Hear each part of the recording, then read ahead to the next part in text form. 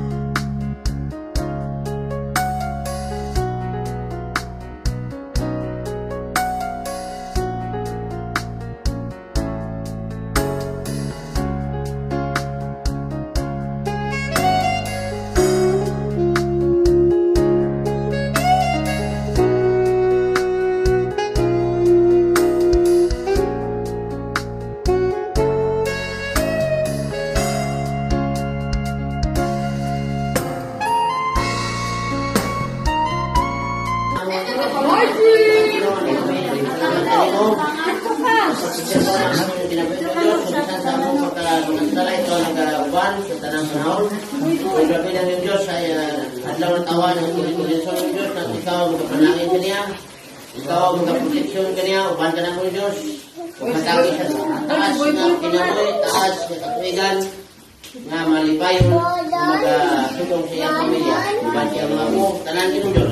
Kung ginipag taong ng Diyos na ikaw magkapanangin, tawas, magkabit, magalagad ka ni mo, kung ipupo ko nila, mga panalangin, tanang adlaw, tanang panahon umaga managaya o bansa kabataan sa gawas. Sa natin yung Diyos, at ikaw mo panangin lang na nagtatabang puta ni kung kusap sa iyang pamilya din ng Diyos, naritin na ikaw, nagpanangin, special sa donation na mag magagayaw niyo pagpakita sa tanang adlaw sa iyang pagpakita sa klaseng ng Diyos. O, di na kami sa mga pagto, sa mga adlaw, kung pinitay kami sa mga Paratiyan ng Diyos na piling COVID-19, rawat na kinipilok na mo, pinitili mo, kudya ng Diyos ng pamilya, kung bisan pa, uban katawan, uban sa mga bisita ng mga Diyos, na ikaw magaling tayo sa sa mga paratiyan. Kung ito yan, mamiling mo dawat, kung lang ang Kristo. Amen. Happy birthday. Nalipat lang si Boboy. Bitaw, wala bitaw.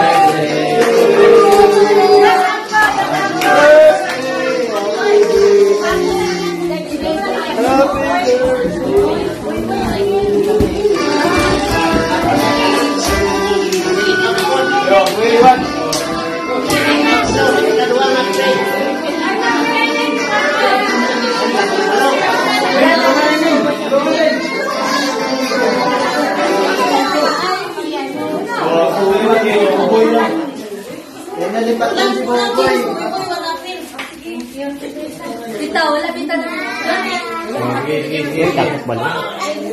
Dalayo na sa ibaho ng mga Diyos. Di ba sa ulo ko nga lang Ang kalipat ni Diyos, yung pangakapo no, dahil malikayan sa Panginoon, nagkakapo o sa iyong grasya, ang panalangin.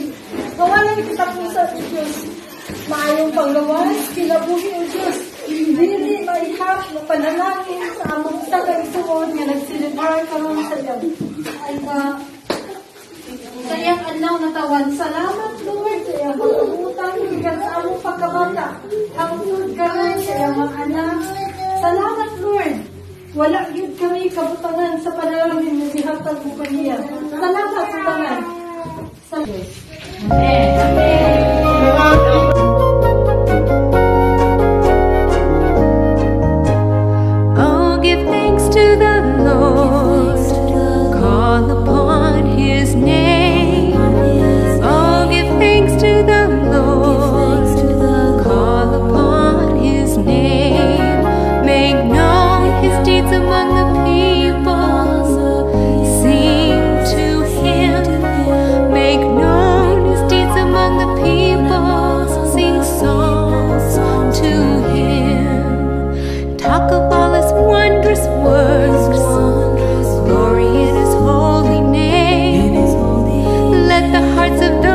trôi.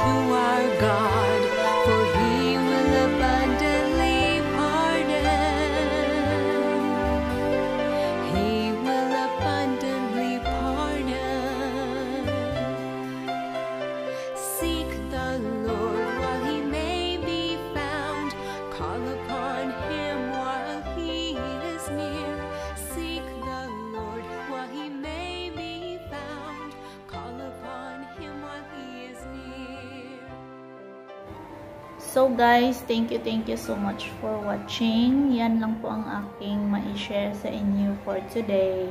So, till in our next vlog. Maraming maraming thank you po sa inyong lahat. God bless and I love you all. Bye!